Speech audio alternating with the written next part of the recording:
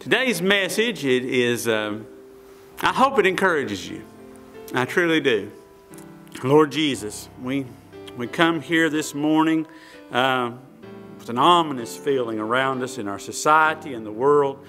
And God, we pray that you would just watch over and, uh, and guide and protect us uh, through whatever may be coming next. Lord, I tell you what, it's been a long, long year, a long 18 months. And it seems like there's always something else coming over the horizon, unlike any time I've ever seen in my entire life. But I've learned more and more to put my hand in your hand and just trust you through the fire. Whatever it may be, whatever may come, I have the King of Kings and the Lord of Lords beside me to walk me through. And I know that of the people sitting here to, this morning with us, Lord, that you are here with us, that we are here to worship you. We are here to lift you up. We are here to praise your holy name as we join once again on this Lord's day to worship you. I ask, Lord, that you'd watch over us, guide us, help us, lead us, protect us. Let your Holy Spirit cover this room and may it go out to all the world that they may hear the gospel of your peace. In Jesus' blessed name, amen.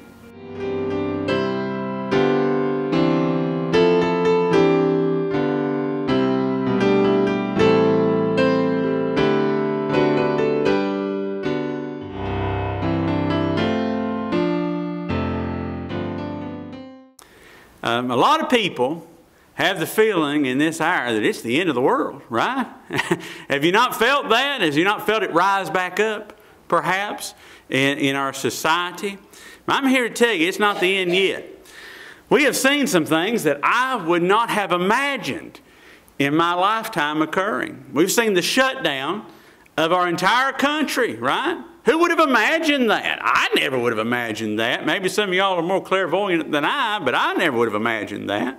I never would have imagined people having to wear masks in all these different places and stay secluded. I never, this is one I never really would have imagined. I never would have imagined political officials arguing that it is more essential to keep a liquor store open than it is to keep a church open, okay? I never would have imagined that. But, uh, but that's what we have seen here recently, right? We have seen some strange times in the last 18 months or so now. I fear a desire is on us now to shut the doors again. You know, that's, that's kind of what we hear all around us. These things are coming. But friends, I'm here to tell you the door isn't shut until Jesus shuts the door, okay? Until He does so, and He hasn't shut it yet. And this time has taught me something too. The importance of this ministry. You understand me?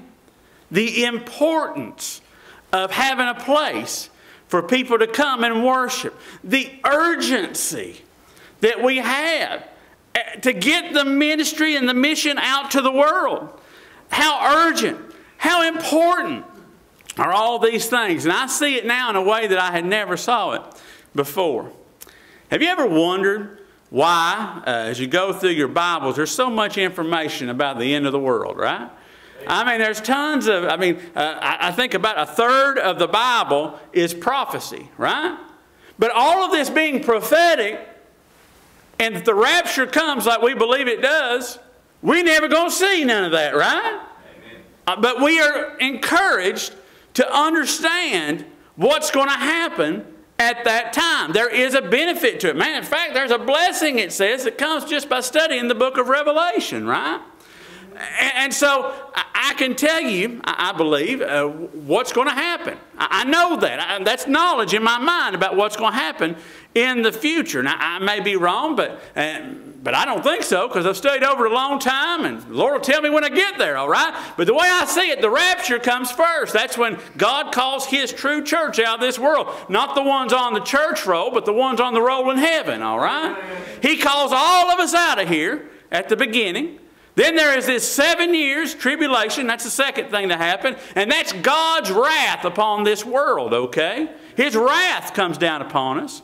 And then third, there'll be the second coming of Christ. He'll come back. He'll set up the reign for a thousand physical years here upon earth. We will uh, rule and reign with him there on this world. Uh, Israel will uh, have the, all the land that they were uh, told that they would have. All these things will happen in that millennial kingdom. But then, at the end of all this, there'll be this final judgment where God will look over the works of every man and then he will purify this world with fire. That's what the scripture tells me and what I've understood from it. All that's there. But why is it there if I'm never going to really partake in that? You know, I'm going to be taken away from all that. Why is that there? How does that help me right now to, to, to live and breathe and act according to what Christ wants me to do? Uh, what does he, I see there? Well, I think that the Lord has a specific message to the church that's aware of that end timeline. He does. And it's in the book of Revelation. If you'll turn there in your Bibles, Revelation. It says here in Revelation 3 and verse 7 And to the angel of the church in Philadelphia write, These things saith he that is holy, he that is true, he that hath the key of David, he that openeth and no man shutteth, and shutteth and no man openeth. I know thy works. Behold, I have set before thee an open door, and no man can shut it. You may be seated. Now, give you a little bit of the background here. Uh, these uh, seven churches that are spoken of in the, in the book of Revelation, uh, there's a timeline there as well. It kind of shows how all of church history goes all the way up to the end. There's one more church age that you see, the church of Laodicea there at the very end, and it's kind of a, a in and out church. But this church will be there right before the rapture of the church also at the end, this church of Philadelphia. And he is speaking of that to those who are faithful to the Word of God here in the end times. That's the church of Philadelphia. And God has set before us an open door. An open door. I really wish that we could get a sense of the urgency about sharing the gospel with others. I mean, the urgency of it. It's highly important that this message gets out to all the world. You understand what I'm saying? During COVID, I got a picture of what it looks like to have the door shut a little bit, right? Y'all got it too, didn't you?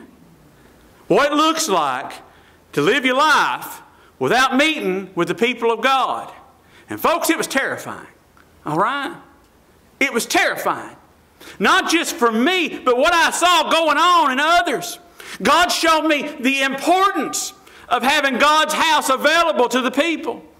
I saw many, and still have saw many, fall away, weakened in their faith because of that not being able to attend the church, not being able to be with one another, not being able to have that connection anymore.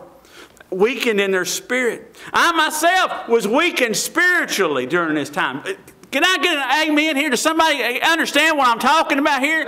Did you feel this way as well? Was that not in your heart? Was you not weakened by that? There is a, there's a scriptural reason why that was occurring.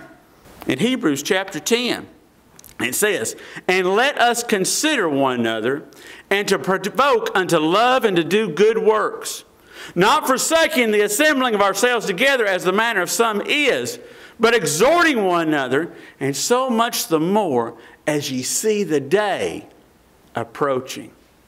You see, it isn't just being able to attend a service.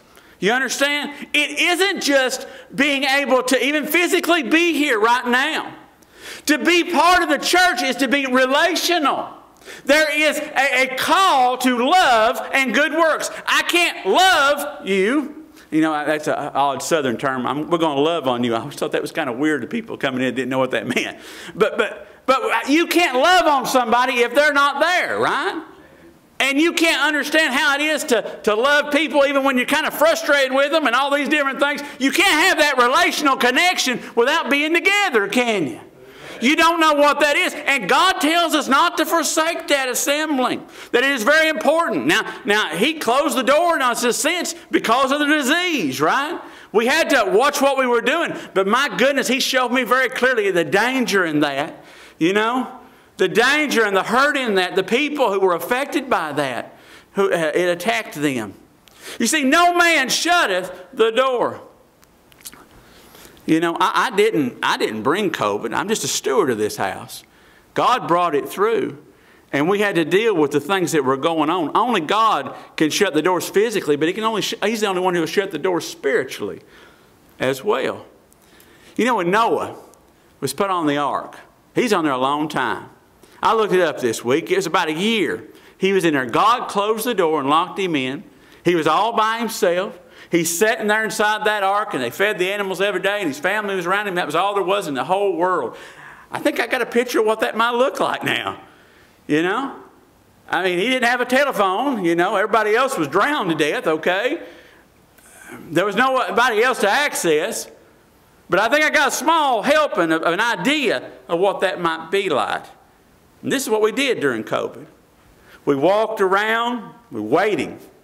We're slowly thinking about all the missed opportunities. That, I don't know about you. Did you think about that? Here's the thing.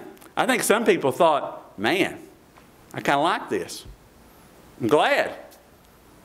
I, am outside. It's kind of like it's kind of like when the kids uh, are left to play. You know what I'm saying? The kids are left to play, and they're like, well, they ain't going to tell me to go to church. See, some people think they come to church for the idea that they have to. Folks, if you come here because you have to, you're hurting yourself. Amen. You are. I mean, I want you to be here. You understand what I'm saying? But you've got to come because you want to. Amen. Because it's your desire to. It's your heart to be within the house of God. It, it, it, it's different. That's what that's that idea, that relational thing. See, God shut the door on us last time, but if needed, this time we're kind of prepared for it, aren't we? We're prepared. We got this parking lot FM radio right here, 92.1. If people feel comfortable, they can come up. They can pull up outside. We got Facebook Live. My goodness, the Lord's taught me some technology on all of that and how to work on those type of things. All these things are here. You see, um, that's not the only thing, though, He's taught us through it. He's taught us how important it is. If you're sitting here this morning, I think you understand how important it is. Uh-huh. If you're sitting here this morning, I think you understand, and I think you understand that it is an important and it is an essential thing to do. But we still have to be aware, don't we? You see, there's a reason that God keeps the door open on some churches and some He does not. In Revelation 3 8, there he tells it. He says he knew their works. He set before them an open door, and no man can shut it. But why? But why? For thou hast a little strength, and hast kept my word, and it's not denying my name. A little strength. That's the Greek word that we get dynamite from. Dunamis, dynamis. And it means a force. As long as we can speak, we need to speak of Jesus, okay? Do you have that power, that dynamite in your speaking? I hate to sit and hear somebody speak about Jesus and it's just like this. And they're just going through motions and there's nothing to it. Okay? If you know Jesus, you got to have some force in your program, okay? Amen. You get excited about him, all right? And if you don't, you're, you're really putting a shame on the gospel, okay? There's got to be some force there. There's got to be some dynamite there. As long as we can walk, we need to carry His gospel outside this church. If the only gospel that ever comes out of your mouth is while you're sitting in these pews, there's a problem, okay? It ought to be down at the workplace. It ought to be down at the schoolhouse. It ought to be out at the restaurant or at the uh, shopping mall. You ought to be bringing that out, okay? Don't let the devil and the government and whatever else fear you into not speaking about Jesus, all right? Amen. Because that's the kind of church that God keeps the doors open on, okay? And I'm not just talking about them two physical doors over here in the corner, all right? I'm talking about keeping spiritual doors open. Spiritual doors. So there's a little strength, a little strength. He said, I kept it open because of that. And the devil will tell you you don't have strength to overcome, but you do. You do. Why? Because God gave it to you, didn't He? God give it to you. Second thing he says there says, They kept my word. That's the word logos. Logos is actually a name for Jesus. In John 1 1, it says, In the beginning was the Word, and the Word was with God, and the Word was God. You know what that word word was? It was Logos. That's what that Greek word is. And the idea there is when Jesus speaks, then you are hearing the Word of God because He is God, right? Amen. Let me tell you something. Right here in this Bible, Jesus is speaking all throughout it. He speaks every word that comes from, from it, okay? Don't let this nonsense or this new intellectual idea say, well, we don't know if the Word of God is the Word of God, and let's cut this out and let's throw that out. Folks, that's a bunch of, I ain't going to say what that is right here, okay? Amen. Right? Right? You need to throw that out with the trash, all right? This is the Word of God that liveth and abideth forever, okay? You need to hear what it says. But it's not just knowing that in your head, okay? It's not just the idea, well, I know what the Word of God, I know about Adam and Eve. I know all these different facts and figures that come from the Word of God. I know, no, no, no, no.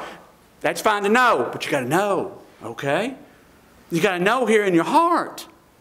You got to apply it. You got to keep my word. Those who have kept my word. It's one thing to know about God's word or what God's word says, and it's another thing to keep it.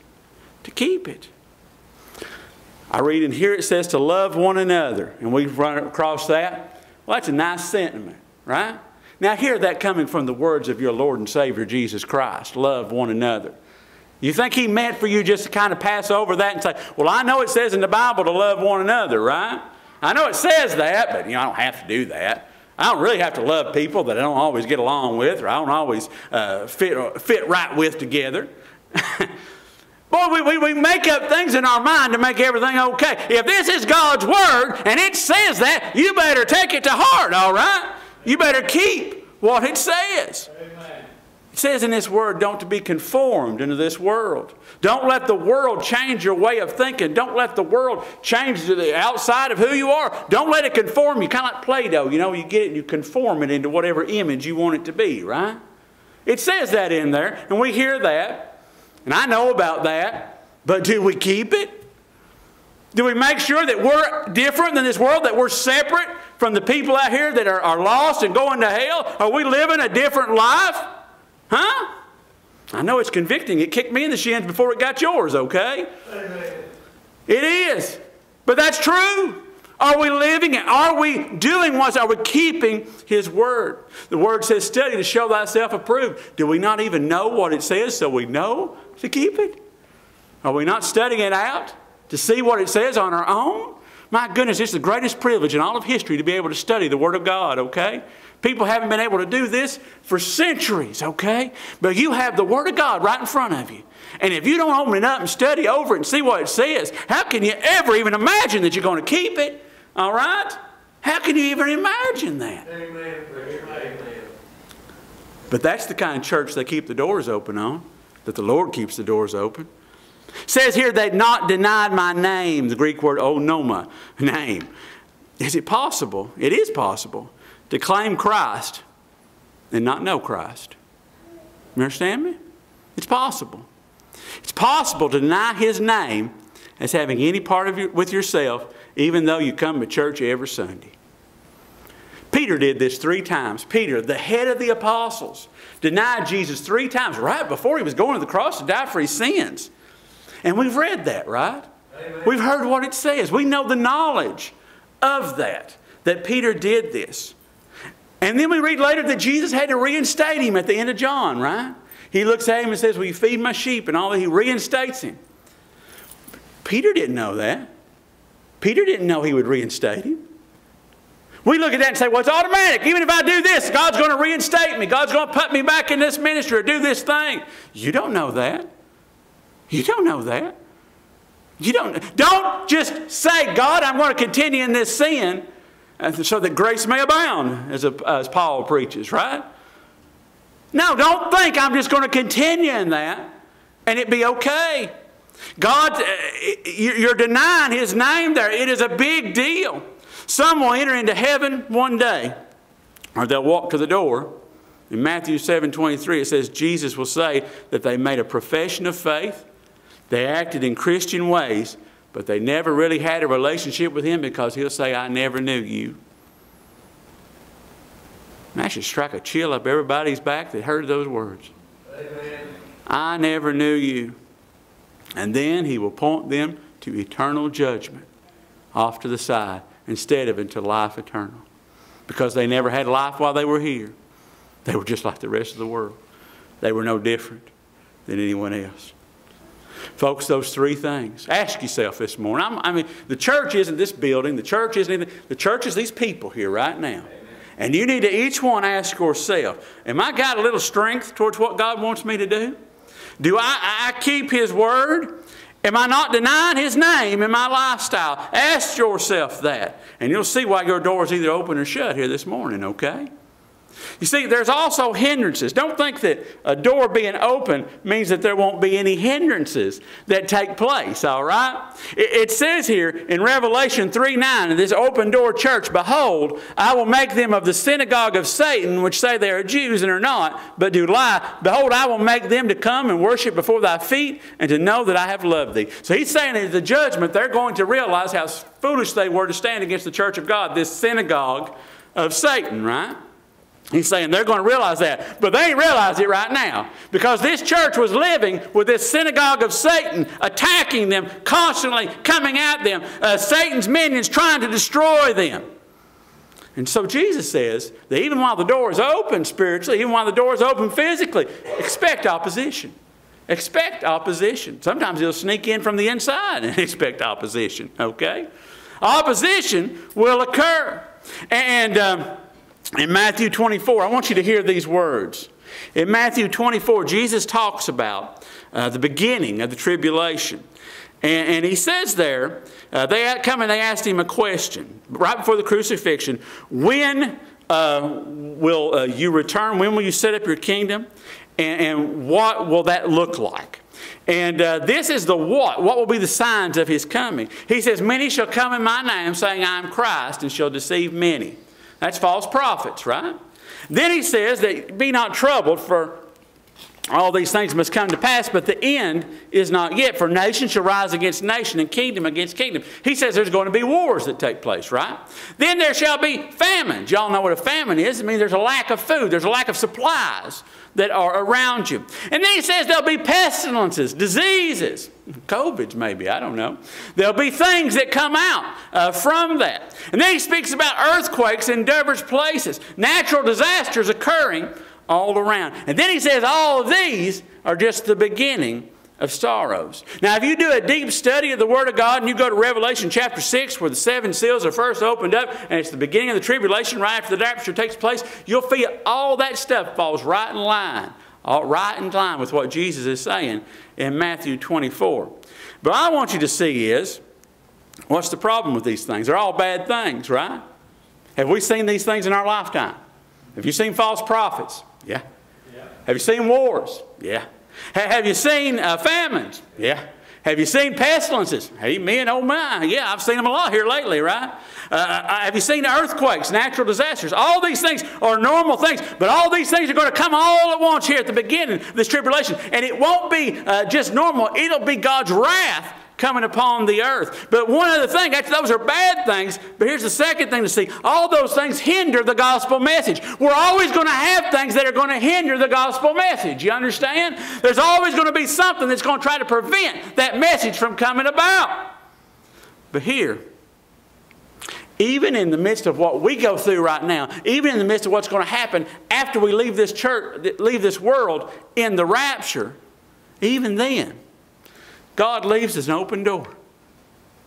An open door for people to come. In Matthew 24, 14, he's laying all this out and he says, And the gospel of the kingdom shall be preached in all the world for a witness unto all nations, and then shall the end come. The door is held open even in the worst time. Even when the whole church is gone, God's going to raise up some people to preach the gospel. Amen. They don't shut the door.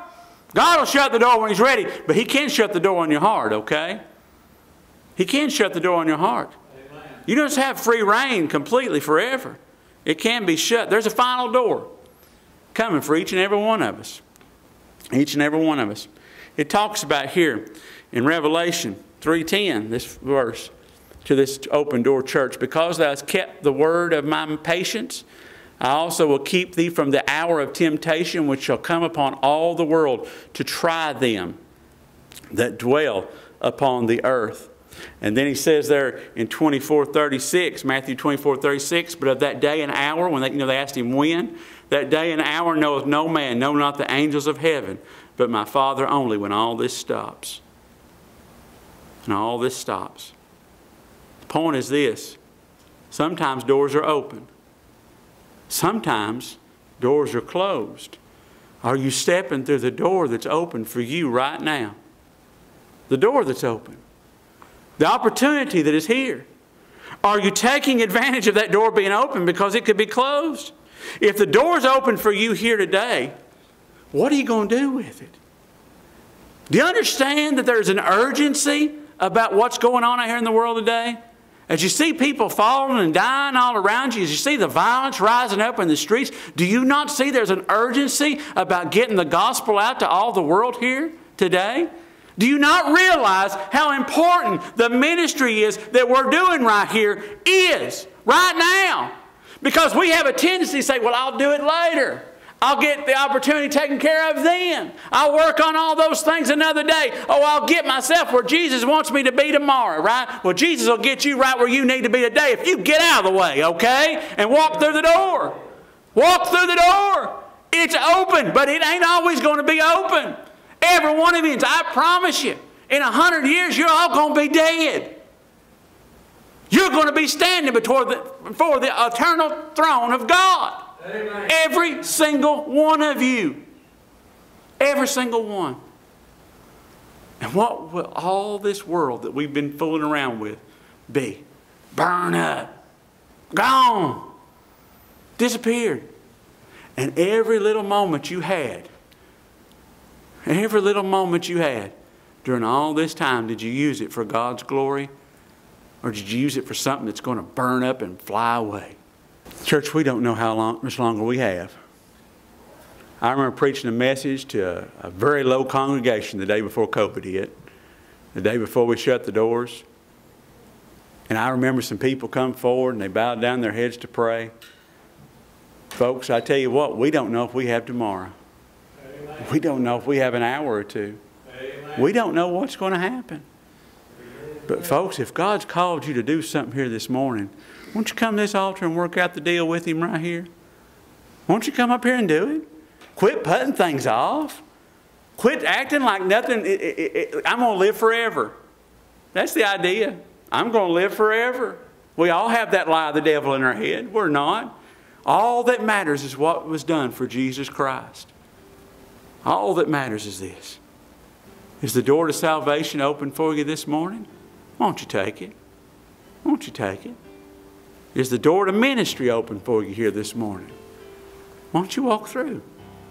Won't you take that first step? Is the door to witnessing open to you this morning, maybe throughout this week? Is it open? Walk through the door.